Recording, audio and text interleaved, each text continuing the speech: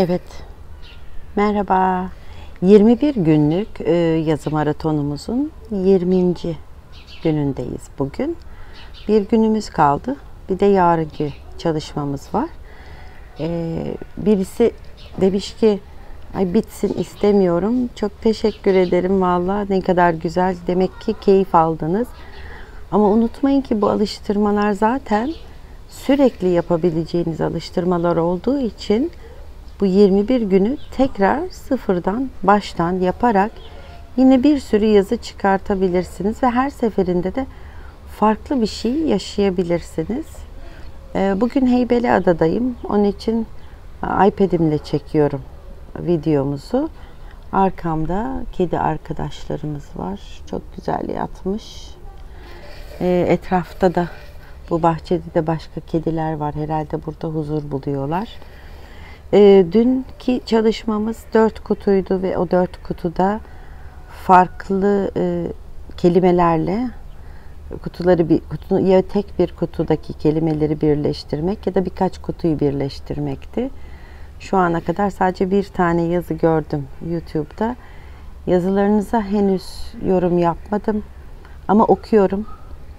Ee, inşallah bu 21 gün bittiğinde de geçmiş yorumlara dönüp herkese yorum yapmaya gayret ediyor olacağım. Şimdi e, bugünün çalışması bugün günlerden cumartesi. E, ama cumartesi olduğunu biz kabullendiğimiz için biz bugüne cumartesi diyoruz. Aslında bu bir gün, herhangi bir gün. Çok güzel bir çalışma var bu günün günlerle ilgili. İnsan mesela cumartesi pazar tatil günüdür. Pazartesi işe başlanılan haftanın ilk günüdür.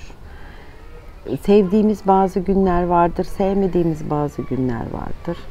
Annem biz gençken salı uça, uçağa binmezdi. Salı sallanır derdi. Şimdi sizden bugünkü yazı çalışması olarak şunu istiyorum. Ee, her gün bir insan olsaydı nasıl bir karakter olurdu? Çok basit göz görü çok basit görünüyor bu çalışma ama aslında o kadar basit değil ve yaparken de çok eğlenceli oluyor. Denedim. Ee, aslında bazı günleri ruh, günler niye sizin ruh haliniz belli bir şekilde oluyor. Onu çok net anlamaya başlıyorsunuz. Çünkü onu zaten karakter olarak yansıtmış oluyorsunuz. Yani pazartesi, salı, çarşamba, perşembe, cuma, cumartesi ve pazar insan olsaydılar bir ailede mi olurlardı? Kardeş mi olurlardı? Arkadaş mı olurlardı? Her birinin adı e, onunla ilgili neyi anlatırdı? Mesela ben yazımı yazdığımda pazartesi çok mutsuzdu.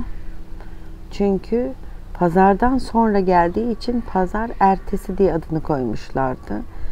Aslında e, haftanın ilk günü değildi o. Pazar haftanın ilk günüydü. Ama anne babası o pazardan sonra buna isim vermişler. Onun için pazar ertesi olmuş. Daha az sevildiğini düşünüyor. Ee, salı hep sallanıyor, başı dönüyor. İşte perşembe, pardon çarşamba haftanın ortasında onun için ortanca çocuk muamelesi görüyor. Gibi gibi bir sürü hikaye çıkarttım böyle. Ee, siz de deneyin. Umarım bu çalışma da keyifli olur. Bu birazcık şeyi de açıyor insanda. Hani her şey aslında yazı malzemesi yapabileceğinizi görmeye başlıyorsunuz. Evet, geldik 20. günün sonuna. Yarın 21 ve son günümüz maratonda. Ondan sonra da unutmayın bir son video daha yapacağım. Yani e, yarın pazar. Pazartesi günü son bir videomuz daha olacak.